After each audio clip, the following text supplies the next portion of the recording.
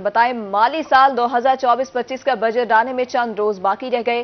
شہریوں نے نئے مالی سال کے بجٹ سے امیدیں باندھ لی۔ پروگرام نیوز نائٹ میں بات کرتے ہوئے شہریوں نے حکومت سے ریلیف فراہم کرنے کا مطالبہ کر دیا۔ جنوبی پنجاب کے عوام نے مالی سال دو ہزار چوبیس پچیس کے بجٹ میں حکومت سے ریلیف فراہم کرنے کا مطالبہ کر دیا۔ پروگرام نیوز نائٹ میں گفتگو کرتے ہوئے شہریوں کا کہنا تھا کہ گزشتہ مالی سال کے بجٹ نے ہماری مشکلات میں اضافہ کر دیا تھا۔ حکومت نئے مالی سال کے بجٹ میں ہمیں ریلیف فراہم کرے۔ بھی یہ کر لیں بچت کسی کسی کام کا نہیں ہے۔ سب سے مین جو مسئلہ ہے وہ ہے اس کا بل کا۔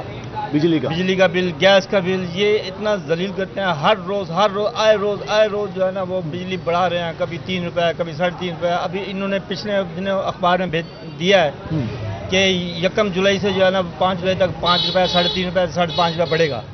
یہ کیا ہے؟ سب سے پہلے ہمیں گاہک آنا چاہیے۔ جب گاہک نہیں آئے گا بجٹ کہاں سے دیکھیں گے؟ حالات اتنے سنگین ہوئے پڑے ہیں نا بازار کے۔ حقیقت کی بات ہے پانچ بجے تک چھ بجے تک جا کے بسم اللہ پڑھ رہے ہیں ہم۔ صبح کے آتے ہیں؟ صبح کے آتے ہیں دس بجے دکان کھولتے ہیں پانچ پانچ بجے تک پیسے نہیں بانٹتے۔ ماہر معاشیات محمد یوسف صدیقی نے پروگرام نیوز نائٹ میں بات کرتے ہوئے کہا کہ حکومت کو انویسٹرز کی پروٹیکشن کے لیے پالیسی بنانا ہوگی۔ جب انویسٹرز کو تحفظ ملے گا تو ملک میں سرمایہ کاری ہوگی اور معیشت مستحکم ہوگی۔ پاکستان میں جو انویسٹر آئے گا نا وہ انویسٹر سب سے پہلے اپنی پروٹیکشن مانگے گا۔